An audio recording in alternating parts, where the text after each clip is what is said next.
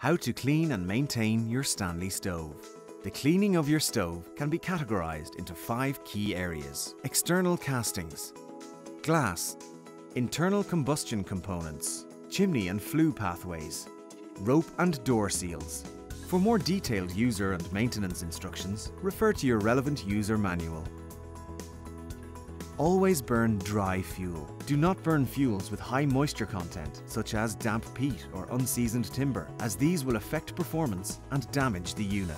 Multi-fuel or solid fuel stoves are now far easier and cleaner to use than ever before, and most have riddling grates and air wash systems to keep the glass clean. The vitreous enamel finish on your stove is tough and hard wearing, but should be treated with care. Cleaning should be carried out when the stove is cool. If your stove is finished in a high gloss vitreous enamel, wipe over daily with a soapy damp cloth, followed by a polish with a clean dry duster. For stubborn deposits, a soap impregnated pad can be used carefully on the vitreous enamel.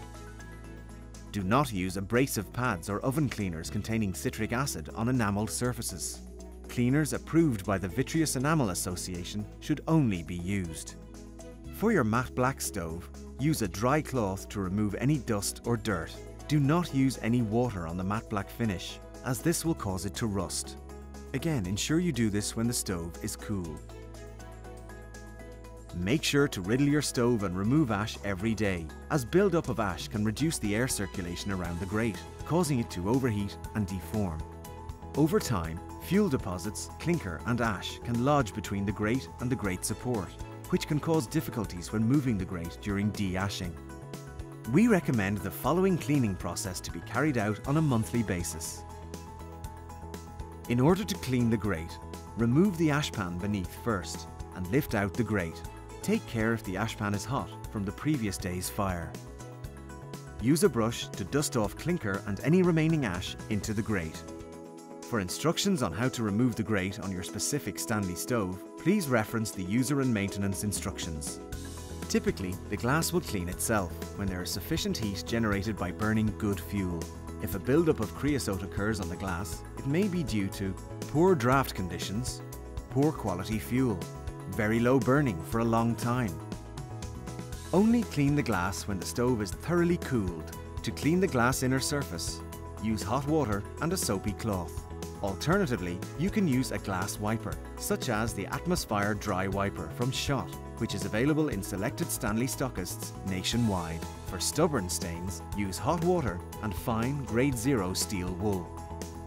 To prevent your glass from sooting up, burn at high rates for effective air wash function. Do not use poor grade or damp fuel.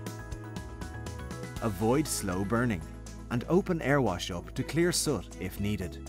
Use anthracite for prolonged periods of use on lower settings to prevent soot buildup.